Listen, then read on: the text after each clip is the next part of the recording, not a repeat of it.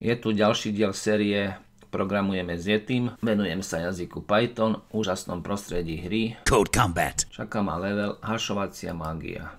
Správna hašovacia funkcia umožňuje nielen ukladanie, ale aj prístup ku uloženým prvkom. Ciele umiestni vojakov na správne pozície. Je dôležité, aby sme používali tú istú hašovaciu funkciu na ukladanie a aj na vyhľadávanie prvkov v hašovacej tabulke. Použijeme na vojakov na nájdenie ich pozície. To je operácia vlož. Neskôr použije paladin hašovaciu funkciu na nájdenie ich pozície. To je operácia nájdi. Aby mohol žarovať. Hašovacia funkcia pracuje so súčtom ASCII kódov, písmen v mene vojaka. Máme však iba 135 miest, to dostaneme tak, keď vynásobíme počet slbcov 2, 4, 6, 9 krát počtom riadkov to je 15.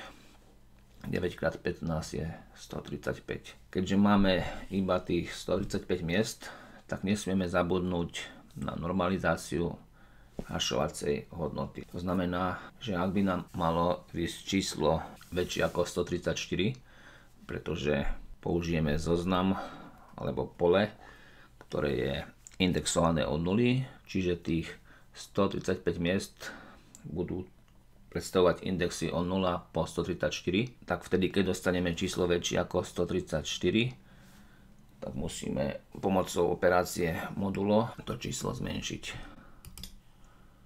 Celkový počet tých buniek je 135. Na riadku 5 sa začína definícia tej hašovacej funkcie ktorá má parameter meno.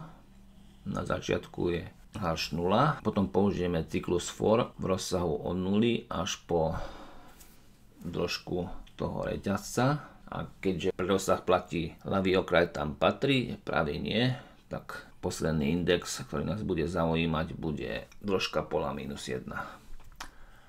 Tak do premennej písmeno si uložíme to písmeno na zelenom indexe a na ďalšom riadku to písmeno premeníme na ASCII kód, čiže na číslo a to číslo pripočítame k tomu číslu, ktoré tam už máme. Hašovacia hodnota má byť rozsahov od 0 do 134, pretože ten prvý prvok toho zoznamu alebo pola má index 0, posledných 134. Tak musíme to obmedziť a to obmedzíme tak, že použijeme ten operátor modulo Operátor modulu nám dáva zvyšok podelený, celočíselný zvyšok podelený.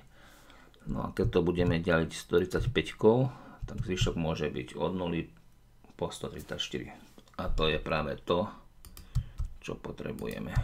Na riadku 15 si nájdem podľa typu všetkých vojakov a pre každého vojaka poviem jeho meno, ID a príslušný hash.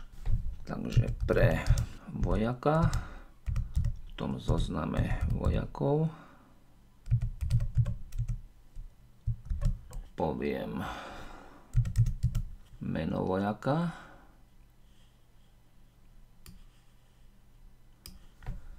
čiže jeho ID plus pridám medzeru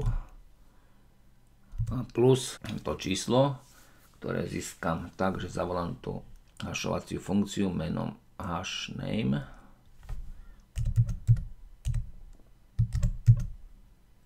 a zavolám tú funkciu z ID toho vojaka.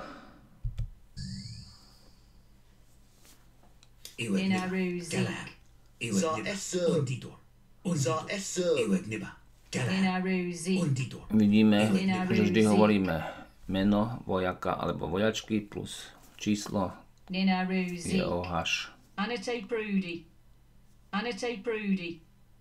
Ninaru Zeke. Ninaru Zeke. Annotate Broody. Annotate Broody. A teraz Paladin vyhľadáva. Code Combat.